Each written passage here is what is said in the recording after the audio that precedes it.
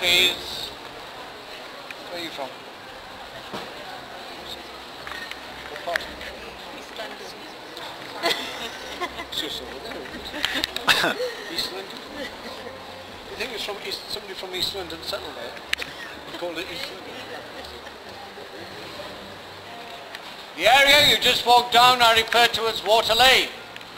The reason being, before this outer wall was built, the River Thames would lap up against that wall behind you. The Bloody Tower, as we know it today, was the waterway entrance into the Tower of London. When you walk through here, look on your left-hand side, you can still see one of the old iron rings, where they used to tie the boats up to. But of course, when they built this outer wall, they drained this area, raised it to its present level. It still retains the name Water Lane. Behind me, one of the most famous gates in the world, Traitor's Gate. It used to be known as Watergate. Well, I can see Americans very excited because we had it first. Our two leaks. But never mind, in the reign of King Henry III, built a straight wall from the west and east. But the king decided he wanted a safe waterway entrance under the tower. So he knocked this part of the wall down and he made the area where you're now standing into a small harbour.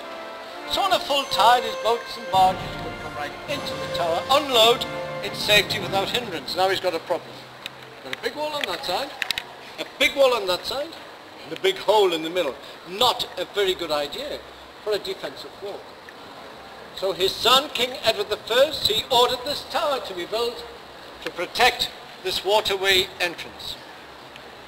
It was called Watergate. Why did the name change to Traitors Gate? This is because of all the alleged traitors that were brought into the Tower of London via this waterway entrance. We know there were hundreds, but I'll mention just a few. Queen Anne Boleyn, Queen Catherine Howard, Lady Jane Grey, Sir Walter Raleigh, Sir Thomas More, the seven bishops would be met here by the gentleman jailer and then escorted to their cells to await their fate. Sometimes just a few steps to the block and the axe on the green, or, as I said earlier, they had to walk out of the Tower of London, up there, onto Tower Hill. Behind you, the bloody tower. It used to be called the Garden Tower, because it gave access and it overlooks the Lieutenant's Gardens. But because of all the crimes that were committed inside, the name's changed to the Tower of Blood, and then the Bloody Tower. It was here by tradition in 1485 the two young princes were murdered.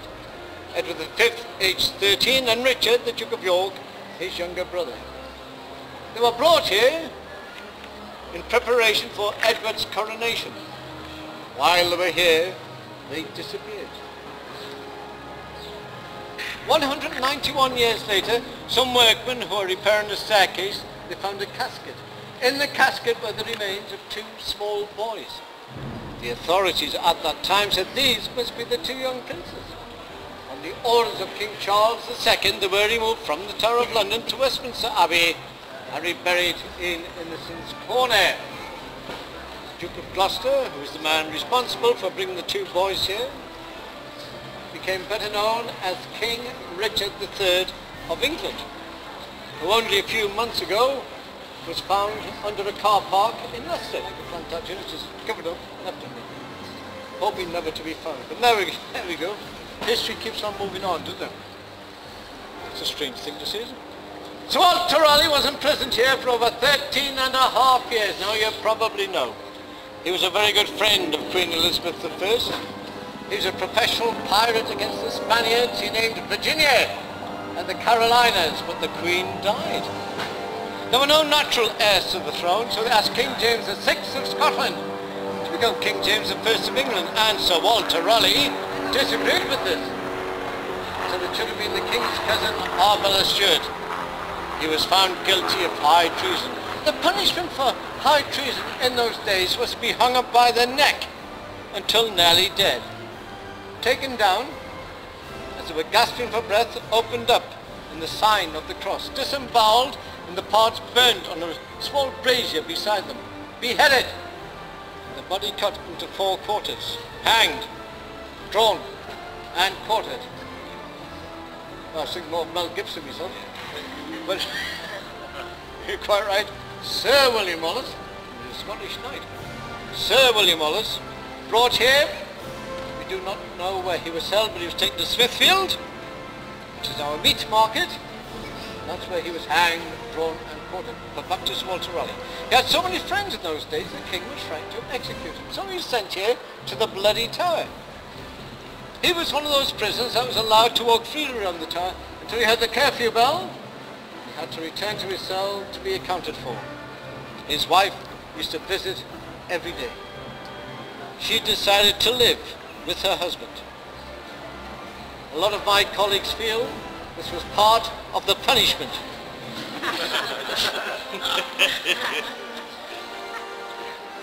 you married? That's why you laugh so hard. if your wife was here, you wouldn't laugh like that. More mature gentleman, just a nice smile. These women who decided to live with their husbands. Hello. These women who decided to live with their husbands, they also became prisoners. And they were not released until their husbands were released or their husbands were executed. In the case of Sir Walter Raleigh, he was released to go to the Orinoco in South America to find El Dorado, the city of gold. He came back penniless. He was found guilty of the crimes 15 and a half years before. Taken to the old palace yard at Westminster, where he was beheaded. It's a very sad end to such a famous man. Now before we leave this area, I'll just point out a couple of things. If you want to go into the wall walk, remember you're standing between the Bloody Tower and Traitors Gate, the entrance is up these steps. Takes you through St. Thomas's, over the Sullivan Bridge, into the upper part of the Wakefield Tower, onto the wall, to the north side, where it ends with an exhibition of the types of animals that were kept in the tower. Let's go to the people that gate here. Check!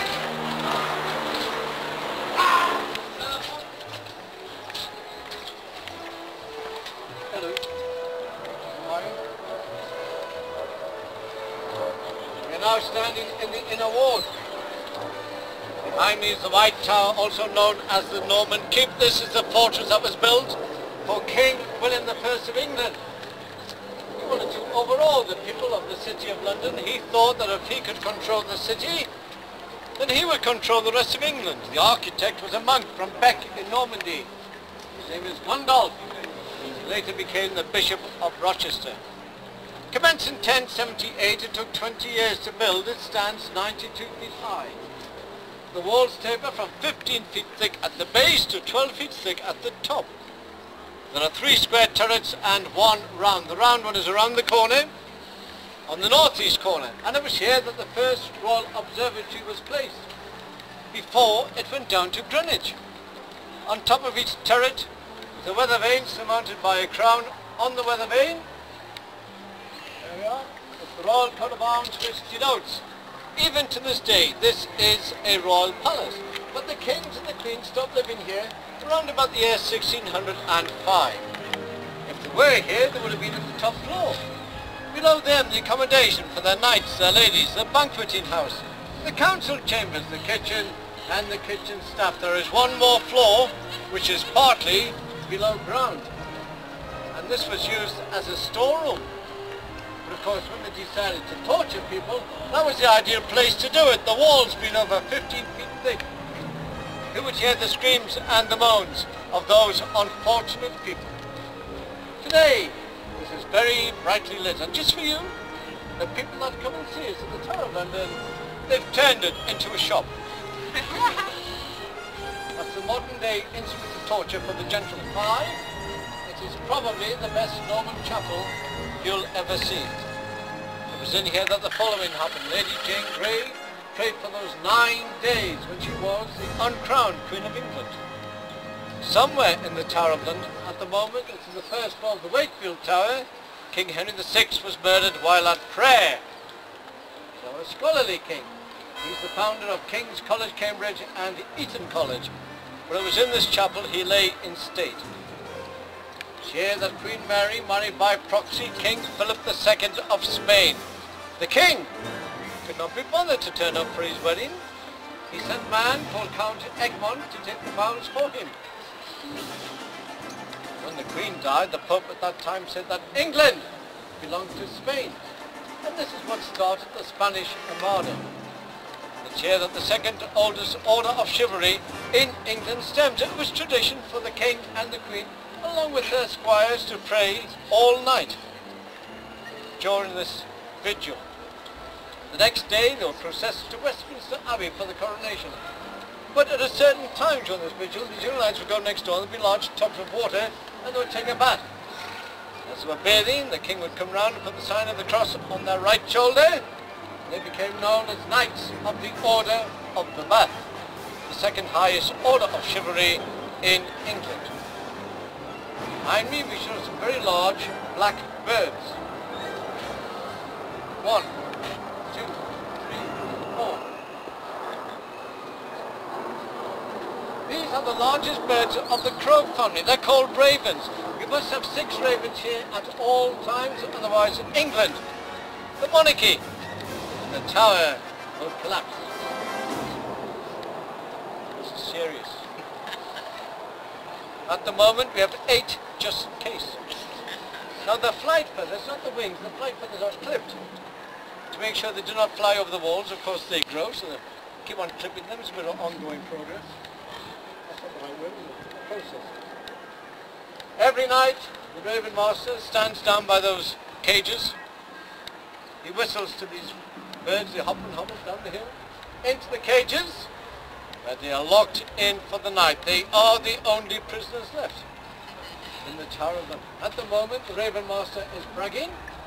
He is the only man who can whistle. You get eight birds into bed in ten minutes. Blue lamps up the side of the wall. That is the entrance into the instruments of torture. Very popular with ladies and children. but we are now going to go up there.